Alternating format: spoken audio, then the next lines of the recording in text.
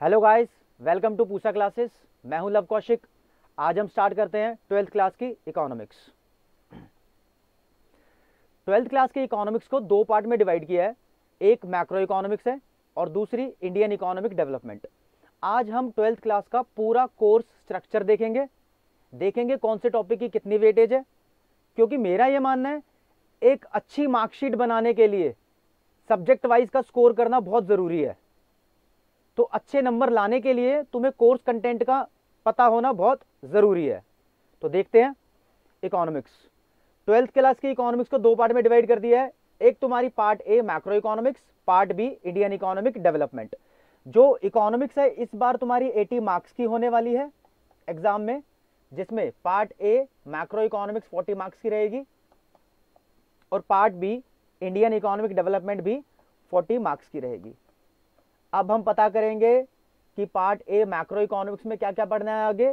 Part B Indian economic development में आगे क्या क्या पढ़ना है। देखो, ये आपके सामने बोर्ड पे मैक्रो इकोनॉमिक्स का पूरा कंटेंट है। आपने कौन कौन सी यूनिट पढ़नी है? लेकिन पहले एक चीज़ बता देता हूँ। डेस्टिनेशन का रास्ता जब तक ना पता हो ना, तब तक डेस्टिनेशन आसानी से नहीं मिलती। तो नाम मात्र सोच लेने से कि ट्वेल्थ क्लास में अच्छे मार्क्स ले आओगे 90 प्लस 95 प्लस स्कोर कर लोगे, ऐसे नहीं होंगे। सबसे पहले शुरुआत करनी होगी कोर्स के बारे में जानकर।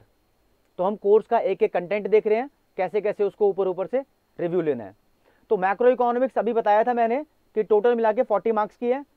इसमें पाँच यूनिट्स हैं। मैक्रो इकोनॉमिक्स के अंदर पाँच यूनिट में पूरा कोर्स डिवाइड किया हुआ है।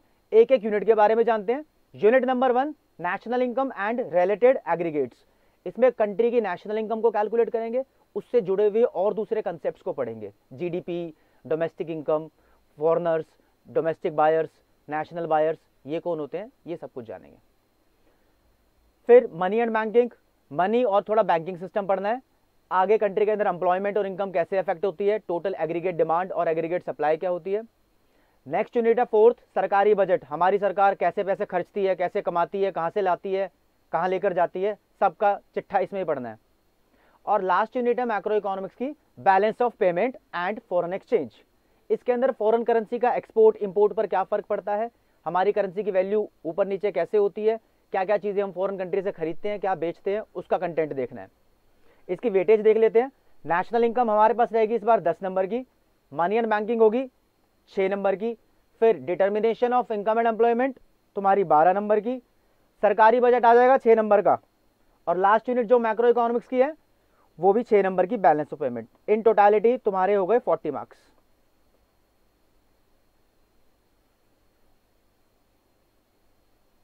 अगली बुक पे आते हैं। ये है इंडियन इकोनॉमिक डेवलपमेंट इस बुक को तीन पार्ट में डिवाइड किया है, तीन यूनिट्स बनाई है इसकी। पार्ट वन है development experience and economic reforms part two तुम्हारा current challenges facing Indian economy और लास्ट पार्ट है development experience of India in comparison to different countries जो कि हमारी मेनली होने वाली है इंडिया चाइना और पाकिस्तान तो देखते एक एक करके।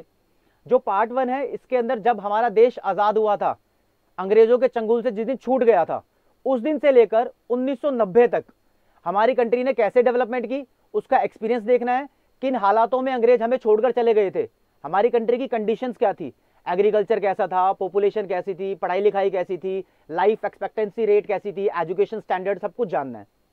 उसके बाद 1991 से इंडिया ने ऐसी कौन कौन सी पॉलिसीज़ बनाई कौन कौन से रिफॉर्म्स किए कि इंडिया आज आगे बढ़ रहा है? वो सब जानना है हमें पार्ट वन में इंडियन इकोनॉमिक डेवलपमेंट के। ये एग्ज़ाम में तुम्हारा 12 मार्क्स का आएगा। फिर पार्ट टू ये है current challenges facing Indian economy आज भी इंडिया के सामने कौन कौन सी प्रॉब्लम्स है? Like unemployment poverty sustainable development infrastructure rural development rural credit farmers के सामने कौन कौन सी प्रॉब्लम्स हैं? ये सब चीज़ें पढ़ेंगे हम पार्ट टू में, जो इंडियन इकोनॉमिक डेवलपमेंट की यूनिट टू है। सबसे ज़्यादा नंबर की यही है, देख लेना 22 नंबर की है। और लास्ट में जो भी इंडिया ने डेवलपमेंट की है, जितनी भी तरक्की करी है, उसका इसकी नेबर कंट्री के साथ कंपैरिजन करने वाले हैं, जो कि मेजर नेबर कंट्रीज़ इंडिया की चाइना और पाकिस्तान ही है। तो हम कंपैरिजन भी इनके साथ ही करेंगे। तो ये वाली यूनिट आपकी सिक्स मार्क्स की है। इन टोटालिटी फिर देख लेते हैं। ये तुम्हारे फिर हो गए फोर्टी मार्क्स ये थी तुम्हारी इंडियन इकोनॉमिक डेवलपमेंट कुल मिला के हमें इंडियन इकोनॉमिक डेवलपमेंट को अच्छे से रट लेना है, क्योंकि थ्योरेटिकल कंसेप्ट है ईजी रहेगा मार्क्स लेना बहुत ईजी है। थोड़ी एनालिटिकल रहेगी मैक्रो इकोनॉमिक्स तो आपने वहाँ पर डायग्रामेटिक प्रेजेंटेशन पे टैबुलर फॉर्मेशन पे ज़्यादा ध्यान देना है। यहाँ पर याद करने का और समझने का काम है। तो हम दोनों यूनिट्स को लेकर चलेंगे, दोनों बुक्स को लेकर चलेंगे। लेक्चर बाय लेक्चर हम एक एक यूनिट को सॉल्व करते रहेंगे, उसके डिफरेंट डिफरेंट पार्ट्स आएँगे। आगे देखने के लिए हमारे चैनल को सब्सक्राइब करें लाइक करें और आगे बढ़े। नमस्कार।